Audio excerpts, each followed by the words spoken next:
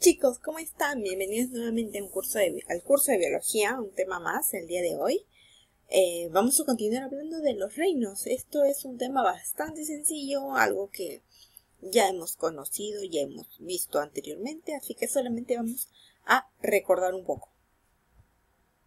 Reino protoctista.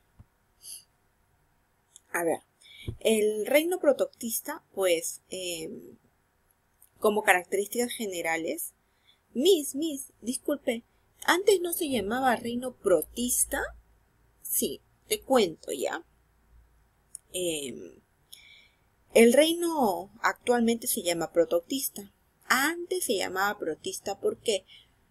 Porque no consideraban a un grupo de organismos que en la actualidad los consideran. Sí, al ingresar ese grupo de organismos que ahora más adelante te voy a decir, al ingresarlo y considerarlos dentro de este reino, pues el reino cambió de nombre y pasó a ser de, llamarse reino protista a llamarse ahora reino protoctista.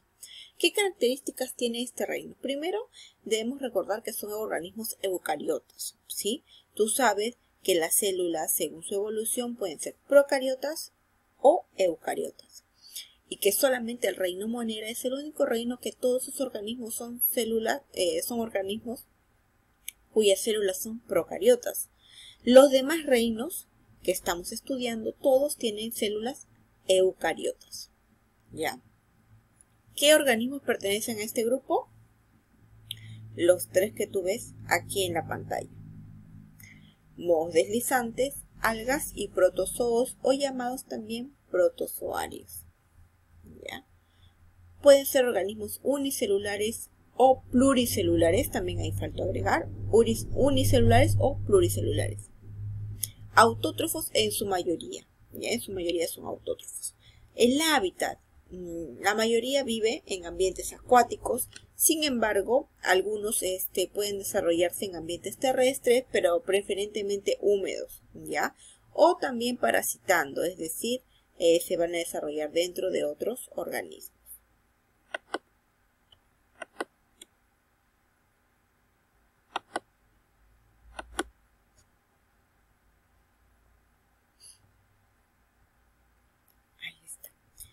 Entonces el reino protoctista consta de tres organismos, mohos deslizantes, algas y protozoarios. Cuando ingresan las algas a este grupo es donde el reino pasa a llamarse protoctista. ¿Por qué? Porque antiguamente pensaban que las algas pues eran organismos que pertenecían al reino plantae, o sea, al reino de las plantas. Pero en la actualidad no es así. Las algas no pertenecen al reino de las plantas, ¿sí? No son plantas propiamente dichas porque no tienen las características eh, de ese grupo. ¿sí? Son, digámoslo así, como si fueran plantas menos evolucionadas, que no caben en ese grupo. ¿Ya? Empezamos a hablar entonces acerca de los mohos deslizantes. Los mohos deslizantes son hongos muy primitivos, ¿ya? No están considerados como hongos propiamente dichos, porque si fueran hongos no estarían en este reino, ¿cierto? Estarían en donde en el reino fungi, pero no se encuentran en el reino fungi, sino en el reino protoctista, porque esto tienen características de hongos, sí, pero no en su totalidad. Por eso les llamamos hongos primitivos o poco evolucionados. Tienen un aspecto de masa gelatinosa, llamada también mucilaginosa. Eh, generalmente se van a formar sobre el humus y sobre troncos en descomposición, como podemos ver en la imagen. Es esa película verde que se forma eh, en, la, en la superficie de los troncos en descomposición. Algunos de estos modos deslizantes pueden recibir el nombre de plasmodios. Los protozoarios o llamados también protozoos son el segundo grupo de organismos que pertenecen al reino protoctista. Protozoarios proviene del latín que significa primeros animales. Sí, porque cuando los descubren por primera vez en lupas grandes o en llamados también microscopios primitivos, les dicen eh, microscopios primitivos o rudimentarios porque no son microscopios eh, como tal, simplemente era una especie de eh, lupa, utilizaban lupas varias eh, cantidades de lupas con diferentes tipos de amplificación. No eran microscopios necesariamente. Entonces, cuando lograron observar a los eh, protozoarios que se movían, obviamente, pensaban que eran animales. Entonces, ellos los llamaron como si fueran animales eh, primitivos o los primeros animales que quizá poblaron el planeta y que después se fueron evolucionando. Eso es lo que ellos pensaban. Y por eso le llamaron protozoarios, que significa primeros animales. Pues, ¿no?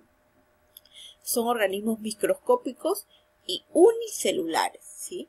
Eh, generalmente van a vivir en el agua o parasitando a otros eh, organismos.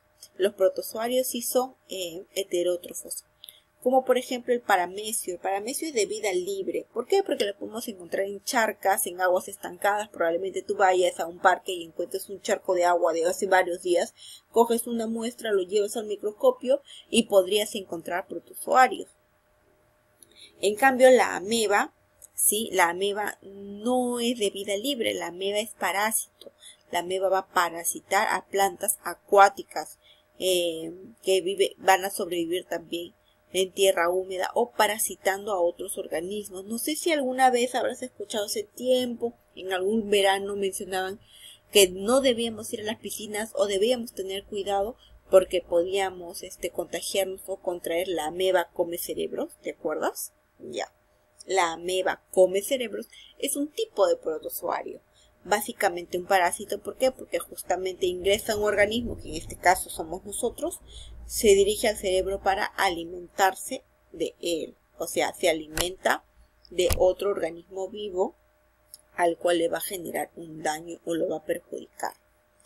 También tenemos al plasmodium. El plasmodium es un tipo de protozoario, también parásito, que es el causante de la, eh, de la malaria o llamada también paludismo. El tercer y último organismo que encontramos en este reino son las algas. Las algas significa o proviene del latín que significa maleza marina. Es como una película verde que encontramos en el fondo de los mares y que generalmente tú has visto esos eh, programas de National, National, National Geographic. ¿Has visto? Ya. Esos programas cuando filman en, la, en el fondo de los mares, ¿no ves una película verde, una película roja? ¿Sí? Ya. Esa como pasto acuático, ¿sí? Le llaman maleza marina. Parecía como una maleza marina. Una maleza que no era terrestre, sino que era acuática. Por eso le llamaron algas, ¿Qué significa maleza marina. Hay algas que pueden ser unicelulares y algunas otras que pueden ser multicelulares. Estas algas van a vivir en mares, pueden vivir en lagos, en lagunas. Todas, todas hacen fotosíntesis, ¿sí? Las algas son organismos autótrofos, a diferencia de los otros dos, o sea, a diferencia de los mohos deslizantes y de los protozoarios que son heterótrofos. En el tipo de algas pueden haber de dos tipos, algas microscópicas, las cuales necesitamos un microscopio para poder observarlas, como cuáles, como las diatomeas, como las euglenas. También hay otro grupo que son algas macroscópicas, que son las que se pueden ver a simple vista y son las que vemos en esos documentales que te comenté. Eh, las algas hay varios tipos y se clasifica de acuerdo al color que ellas eh, presenten son algas eh, doradas. Ya. Y por último, las clorofitas, que son algas verdes. ¿Por qué? Porque contienen el pigmento clorofila, ¿sí? Que les da el color verde. No te olvides de estos nombres porque esto es lo que te va a venir en tu examen, ¿no? Las algas rojas son rodofitas. Las algas doradas son crisofitas. O te puedo poner, las clorofitas son algas verdes.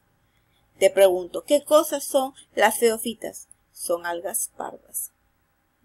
¿Alguna vez has comido ceviche? Sí. Y al ceviche le han puesto yuyo, ¿verdad? ¿Tú sabes qué es el yuyo? El yuyo es un alga. Y es un alga de tipo roja, o sea, es una rodofita. Mi pero se ve bien oscura. Es que es como un color vino, ¿no? Varía la intensidad, no necesariamente tiene que ser un rojo vivo como en la imagen, sino es el rojo y sus derivados, que en este caso vendría a ser el yuyo. ¿Ya? O sea, cuando tú, la próxima vez que comas un ceviche, ya sabes, si te ponen yuyo, que estás comiendo un alga. ¿Qué alga? Una rodofita. ¿Ya? Bueno chicos, este tema sí bastante sencillo, espero que les haya gustado, que les haya parecido interesante, porque eh, para su examen vamos a preguntar sobre todo esto último que te estoy mencionando, características y los tipos de algas de acuerdo a su color. Cuídense mucho chicos, chao chao, toma nota, no te olvides. Hasta la próxima clase.